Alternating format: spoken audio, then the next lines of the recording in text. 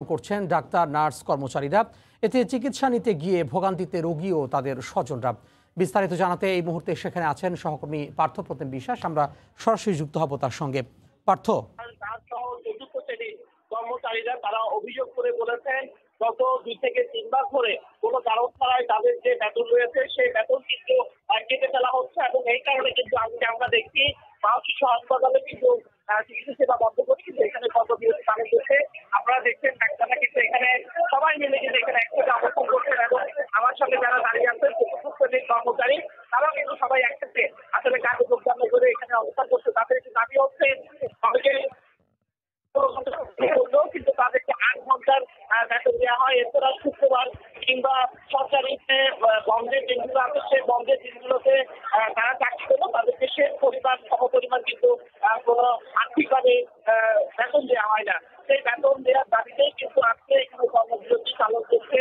এখানকার কর্মচারী এবং প্রত্যেকের কর্মচারী যারা রয়েছেন দীর্ঘ বারো থেকে তেরো বছর ধরে কাজ করছে কিন্তু তারা এখনও পর্যন্ত স্থায়ী হয়নি তাদের স্থায়ী কারণে দাবিতেও কিন্তু আজকে পালন করছে এখানকার কর্মচারী এবং চৌদ্দ শ্রেণি কর্মচারী যারা রয়েছেন, দীর্ঘ বারো থেকে তেরো বছর ধরে কাজ করছে, কিন্তু তারা এখনও পর্যন্ত স্থায়ী হয়নি। তাদের স্থায়ীকরণের দাবিতেও কিন্তু আজকে চতুর্থ শ্রেণির কর্মচারীরাও কিন্তু আমরা দেখছি এখানে কর্মবিরতি পালন করছে।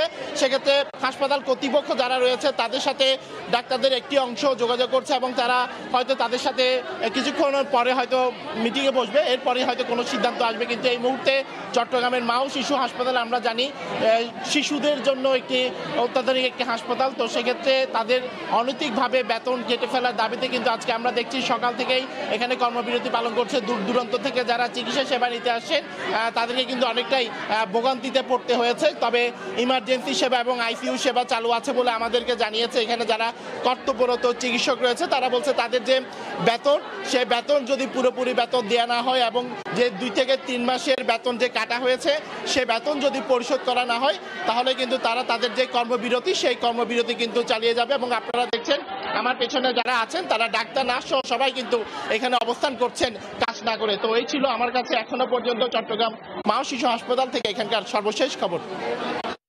চট্টগ্রামের মা ও শিশু হাসপাতাল থেকে যুক্ত হয়েছিলেন সহকর্মী পার্থপ্রতিম বিশ্বাস।